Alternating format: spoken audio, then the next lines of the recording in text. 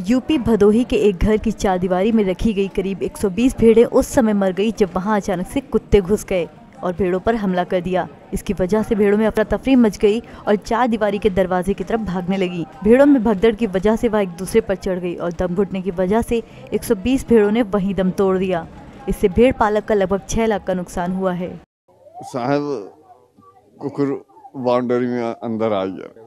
कुत्ता। लगभग दो के ऊपर रहने वाले हैं। छोटे बड़े बच्चा बच्चे लेकर अढ़ाई सौ भेड़ नुकसान तो साहब तो तो नुकसान तो बहुत हुआ साहब उसके नाम बताइए।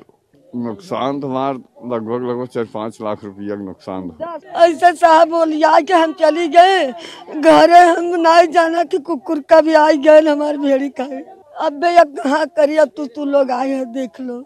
सफोकेशन से मरी है ये दब करके मरी है। अभी कुत्ता जैसा कि इन लोगों ने बताया कुत्ता आए थे और कुत्ता इसमें पाँच सात घुसे थे जिसकी वजह से एक दूसरे पर भागने पर चार पाँच भेड़ों को काटा भी है और उसकी वजह से ये सफोकेशन से एक दूसरे पर दब करके मरी है। कुछ भेड़े बची कि सारी मर गई? बची है। कितनी? अरे इनके लगभग साठ सत्तर साठ भेड़ के आसपास तो उधर बची हुई है और सात आठ भेड़ों को काटी हुई है जिन